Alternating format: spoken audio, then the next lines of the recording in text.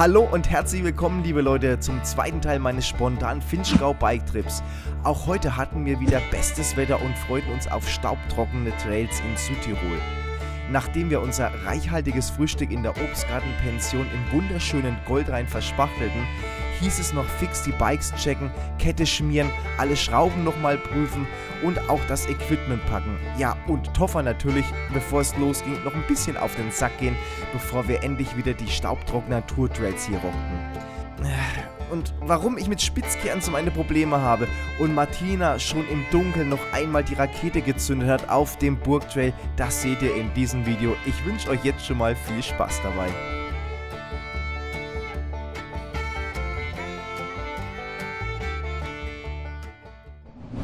Also Leute, ich sag's euch, irgendwie nimmt der Anstieg heute kein Ende. Wir schrauben uns da hier hoch. Gell Michael, das sagst du auch, dass es mit einem E-Bike halt einfach entspannter ist. Ja, nichts anderes. Beste, beste. Jahre. Das andere macht ja keinen Spaß mehr. Ja, das gibt ja eigentlich schon fast gar keinen Grund mehr zu sagen, man geht auf ein normales Biobike halt. Absolut. Es sei denn, man möchte sich quälen. So Kann richtig. man da auch, wir wissen es doch. Ja, genau. Oder schau dir an, wie es schwitzt. Ja, ich bin batschsauchhaftnass.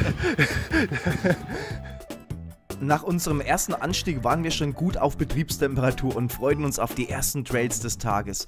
Wenn ihr dieses Jahr einen Biketrip ins Finchgau geplant habt und ihr das erste Mal hier seid, empfehle ich euch einen Full-Face Enduro Helm. Die Trails hier sind ruppig und es gibt einige raue Passagen, wo man dann schon mal froh ist, wenn man etwas mehr Schutz auf der Rübe hat.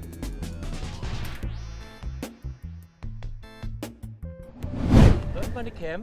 Die läuft tatsächlich. Oben der, der, der grüne Streifen. Sieht man den? Der ist voll auf Ausschlag. Der ist voll auf Ausschlag. Na dann mal los hier.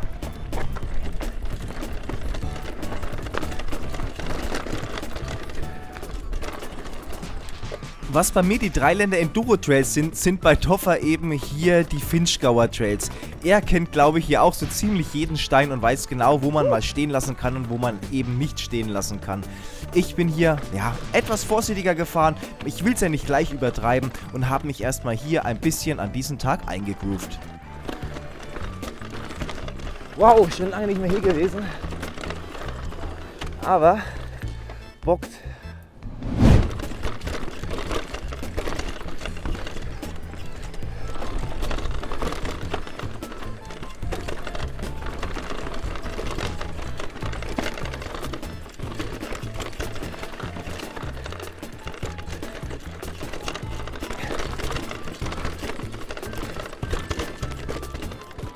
Wer auf ruppige Naturtrails steht, der sollte auf jeden Fall im Finchgau mal vorbeischauen. Wenn ihr eh in der Nähe seid auf den Dreiländer Enduro Trails, dann nehmt das auf jeden Fall nochmal mit. Fahrt die 45 Minuten weiter und genießt auch hier mal diese wunderschöne Landschaft und diese einzigartigen geilen Natur Enduro Trails. Das Leute ist auf jeden Fall nochmal hier die Reise wert.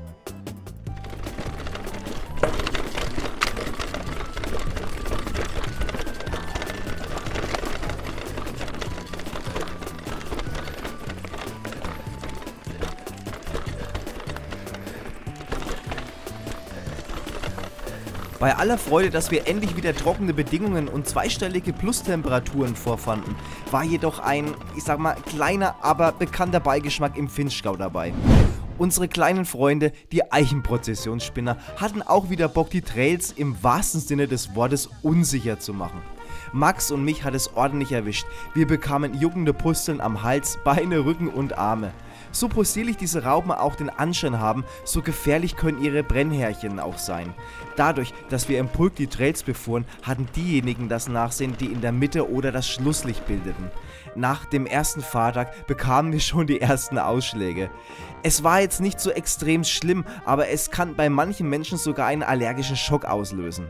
Ich empfehle euch daher, wenn ihr im zeitigen Frühjahr schon Alpenluft im Finchgau schnuppern wollt, dann fahrt am besten Ende Februar oder spätestens bis in die zweite Märzwoche her, also zumindest je nachdem, wie es eben das Wetter zulässt. Alles danach könnte, sage ich jetzt mal vorsichtig, etwas unangenehm werden bis Mai.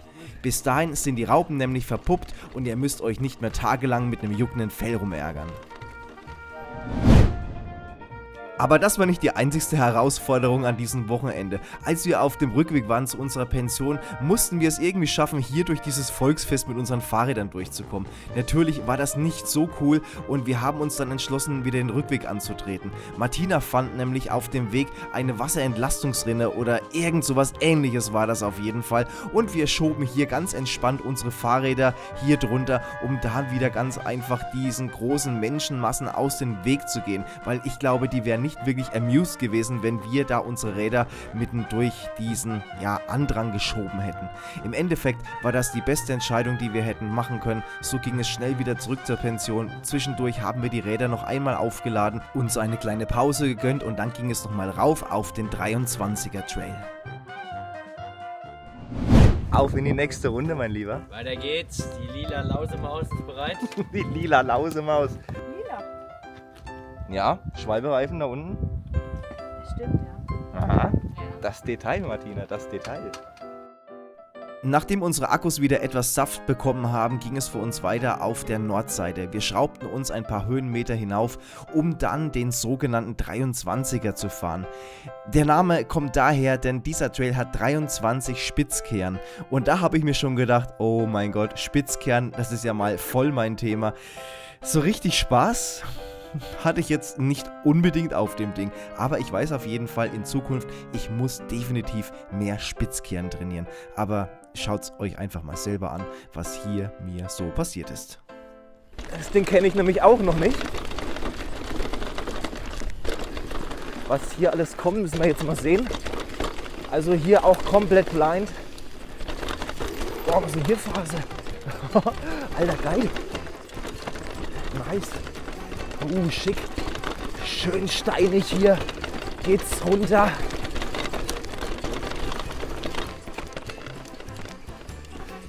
Ist jetzt da lang fahren? Ja. Ah, okay.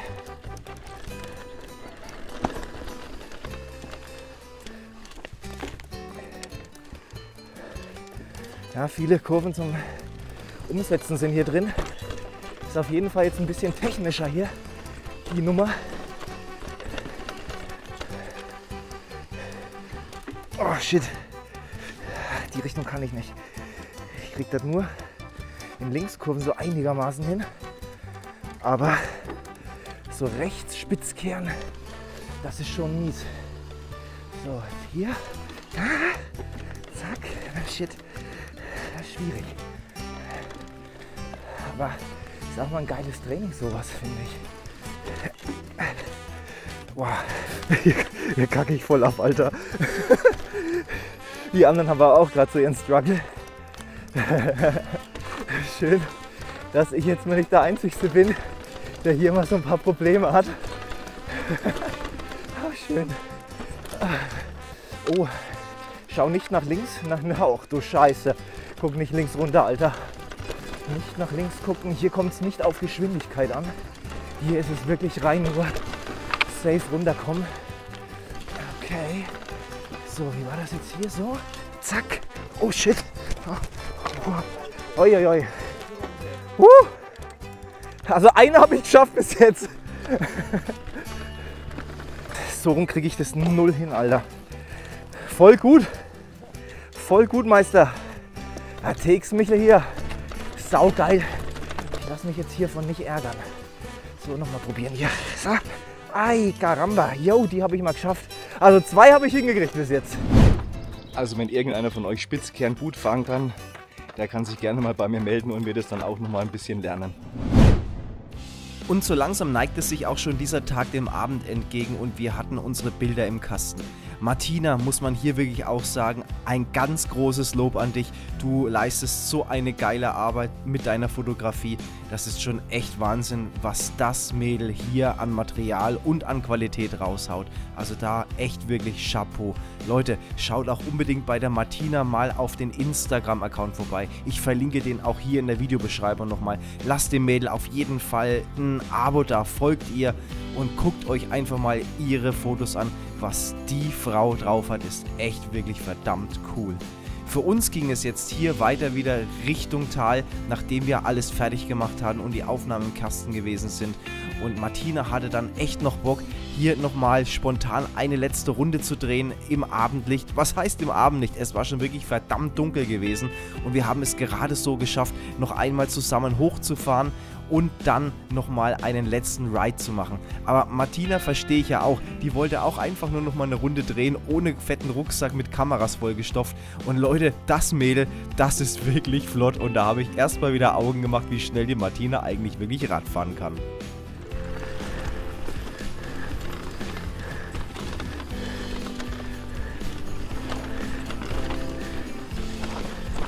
Jawohl.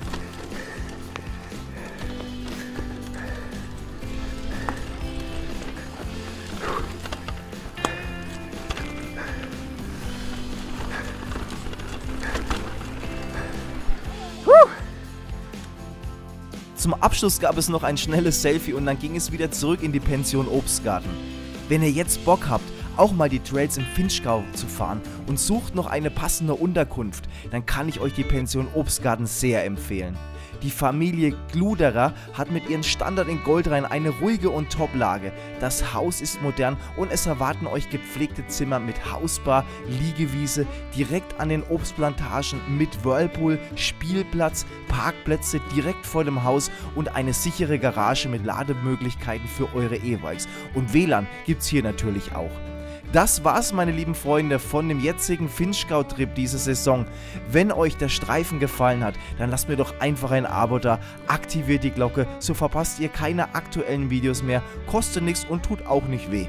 Habt ein tolles Wochenende, ich bin jetzt erstmal raus, euer Mike.